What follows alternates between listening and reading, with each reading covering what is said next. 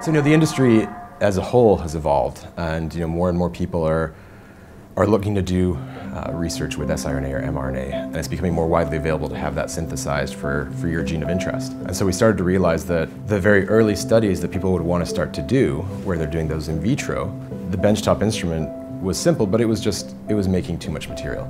So the cost of synthesizing that much material uh, was expensive, and it wasn't necessary to make that much for those early experiments. So we set about to make something that would be just as easy to use, or not, if not easier, uh, but would be able to handle those smaller volumes that you would want in order to do an early screening experiment.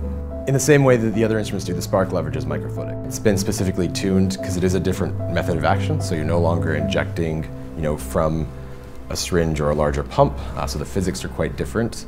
Uh, so we've purposely developed microfluidics that will work with the workflow of the Spark to give you the same results that you would see uh, on the benchtop instrument, on the Blaze, or in the GMP system.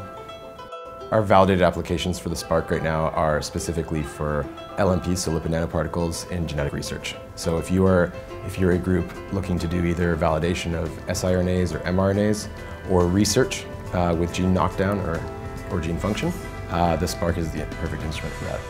Also, groups who are working in that field who are looking to tune uh, or test different lipid systems, uh, the Spark is a great platform for starting that work.